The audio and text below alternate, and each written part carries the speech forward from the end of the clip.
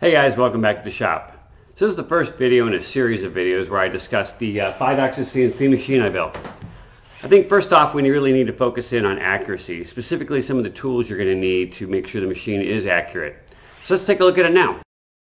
Alright, I feel like I'm channeling my This Old Tony. If you haven't seen him, I'll actually put a link in the description. He does some great work.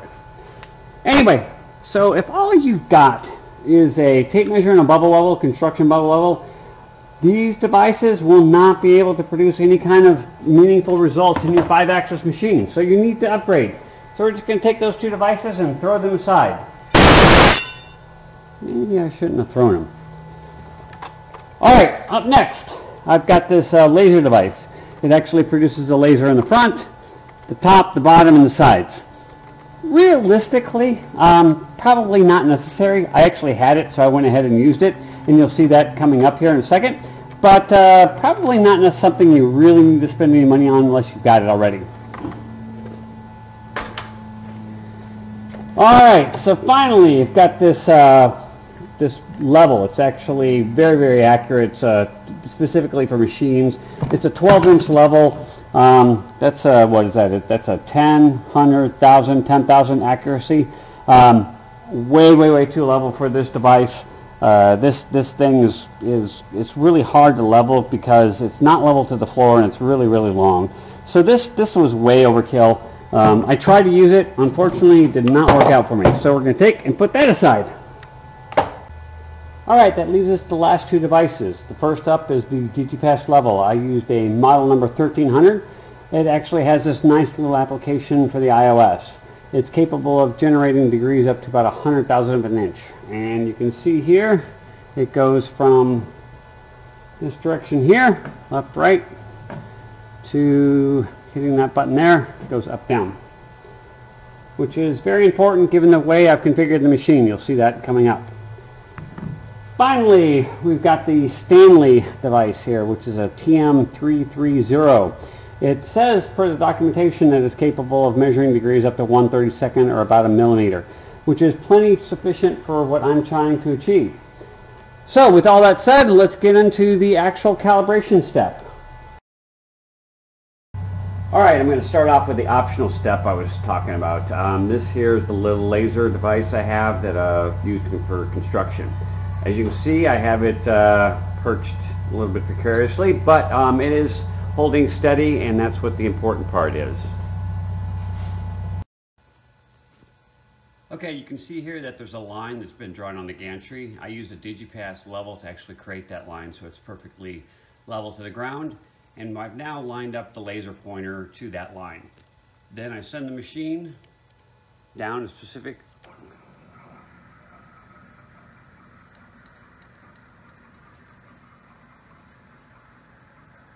And basically, if it's above or below the line, I would have to go in and adjust these feet until I got it uh, in the ballpark. This isn't, again, a step is not entirely necessary. This doesn't prove it's 100% level, but it did actually uh, get the machine within a, a certain amount of levelness, so I was able to just dial it in simply. Okay, so you can see at this next part here, I'm using the DigiPass level. It's actually resting on a piece of uh, dimensional steel that's crossing between these two points. These points here are actually spaced every one foot and they actually are the bolting points for the V-connector rail that I use on the X portion of the uh, machine.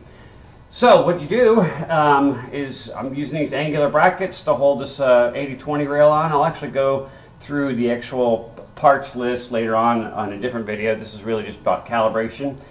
Uh, so anyway, what I did is you, get your bevel level, you put it between the two points using these screws.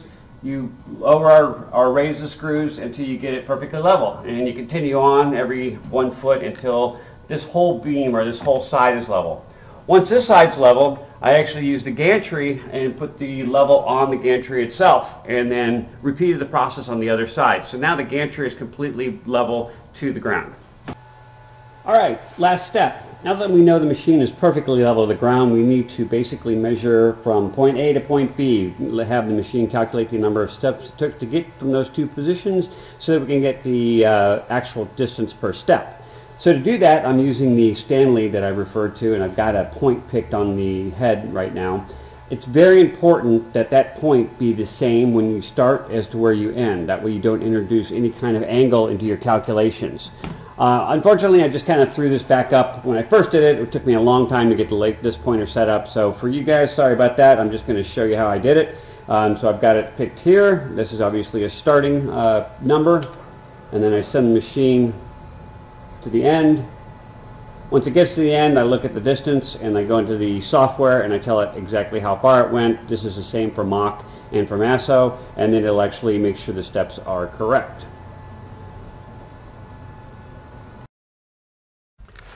All right, that covers the calibration. But you could be saying to yourself, well, how does he know it's accurate?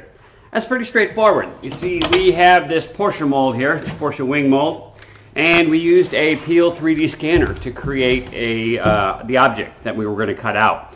Once we had that object, we used the 5-axis CNC machine. We cut out the actual part, and then we took the mold and sprayed it with a little talcum powder. And we laid the mold on top of the part. We tested front to back and side to side. There was absolutely no movement. And when we remove this mold, we actually could see the talcum powder uh, actually transfer it onto the actual cut part. So we know we're well within tolerance, at least of uh, the, the, machine, uh, the capabilities I have of measuring. So hopefully you found that interesting. If you have any comments or questions, uh, please feel free to leave them below and I'll do the best I can to answer them. Thanks for watching and consider subscribing.